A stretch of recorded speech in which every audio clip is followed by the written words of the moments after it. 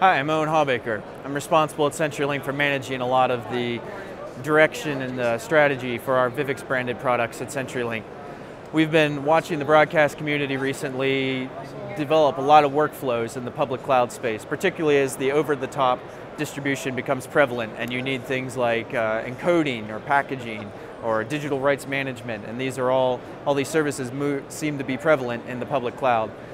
We launched Vyvx Cloud Connect last year in response to this observation uh, and expanded it this year. This enables our customers to take content wherever it is that they've got live linear video directly into AWS and GCP so that they can engage in any number of services on the AWS Marketplace or on GCP, whether that's public service providers, uh, in-house offerings, or whether that's a third party providing the service and condition that media so that it can go out on an over-the-top distribution right out onto the CenturyLink CDN or a multi-CDN environment.